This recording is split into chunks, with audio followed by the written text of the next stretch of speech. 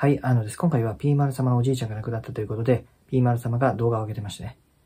まあ、これ見て思うことは、ご冥福をお祈りします。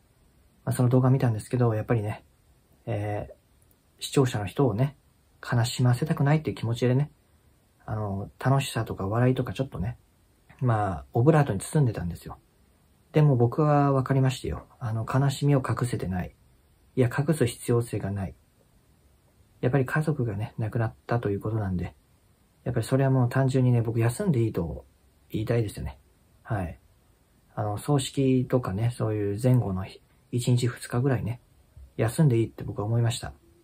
その後に、やっぱり元気なピーマル様の姿見たいので、僕は全然もう休んでもらっても全然大丈夫ですよって言いたいですよね。はい。そういう感じです。はい。